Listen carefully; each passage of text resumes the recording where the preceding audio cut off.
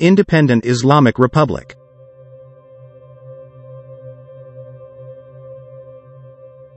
Anti-government protests in Iran began on September the 16th due to the death of 22-year-old Mahsa Amini. Apparently she died due to being beaten up by the morality police who detained her for incorrectly tying a headscarf and since then people have been protesting against the hijabi laws as well as protests against Islamic laws in general. This isn't the first time that the Iranian authorities have been confronted with popular discontent, but it's certainly the longest mass protest since Iran turned into an Islamic republic.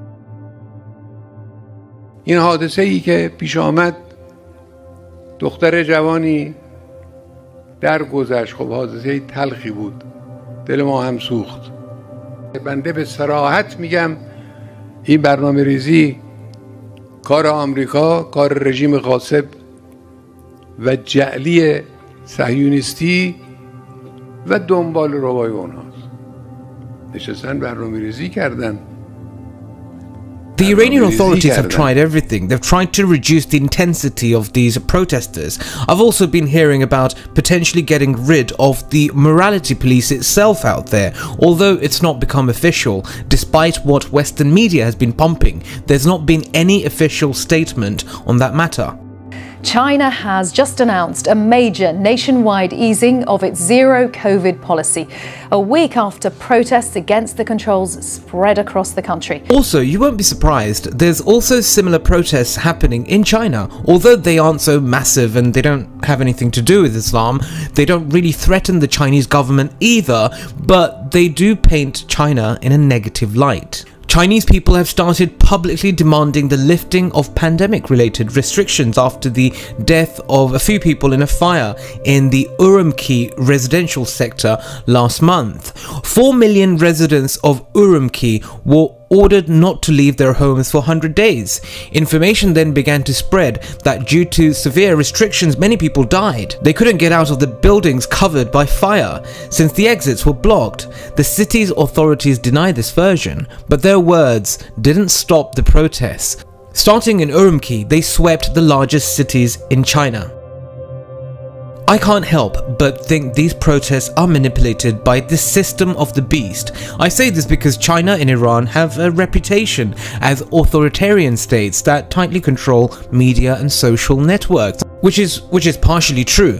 But also China and Iran are long-standing allies on the world stage. They're united by strong trade economic and political ties. You see China is Iran's main trading partner and both countries are considered as strategic allies of Russia who the west doesn't like very much at the moment due to the Russian special operations over in Ukraine. So I can't help but think these protests out there in Iran and China are very cleverly orchestrated. In Iran, protests began in a small Kurdish city from where Mahsa Amini was born, the Kurds. They are a national minority in Iran and usually their problems don't fall into the national agenda. Urumqi in China is also heavily separated from the rest of China. It's the administrative center of Xinjiang province with a predominantly Uyghur Muslim population, which the Americans have been playing for a long while and accusing the Chinese government of human rights violations. But unlike the Chinese government, the Iranian government is making a big mistake.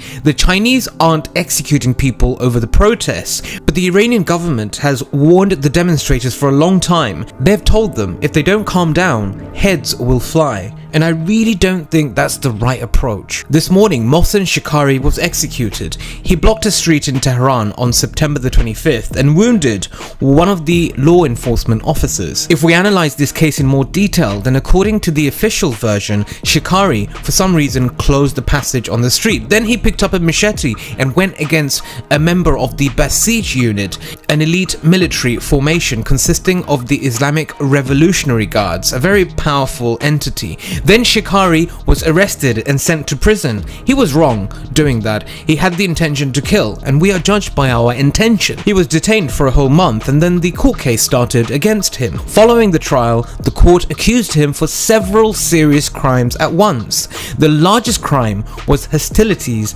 against Allah. According to the logic of these judges, participating in protests is associated with war against God, and I really don't agree with those charges. People must have the right to protest, even if they are manipulated by outsiders. The case was totally un-Islamic in my view, because Allah has not transferred his powers to authorities on earth. So, so how can we pass such a big judgment and say he went against Allah for partaking in protests? Power on earth must always be challenged for it to be kept in check and ensure that it's working for the people. There's about 28 people waiting execution in Iran and we call on the Islamic Republic of Iran to pardon them because the more they execute the more angry the streets of Tehran will get and of course the more advantage the Americans, Israelis and collective West in general will take. They are already spreading a lot of fake news and unfortunately many protesters are listening. I can speak of one. Apparently the sister of Supreme Leader Ayatollah Ali Khamenei criticized him. She wrote in an open letter supposedly condemning the autocratic rule of her brother, called on Islamic Revolutionary Guards to lay down their arms and stop the bloodshed. What's interesting about this is the woman herself didn't appear anywhere. The letter was published on social media networks by her son who lives in France. However, whoever was the true author, the protesters liked it. In order to stop the protests, there's only one way. Speak to the people. Do not execute them. Islam is a religion of justice. People have change of hearts. By getting rid of them is not the right way. After all, our war is not against flesh and blood, but against principalities, against powers, against the rulers of the darkness of this world, against spiritual wickedness in high places. Thank you for listening to the Independent Islamic Republic of Foreign Policy Hawk. Assalamu alaikum, Shab khair, Shalom aleichem, Sayonara and have a lovely night.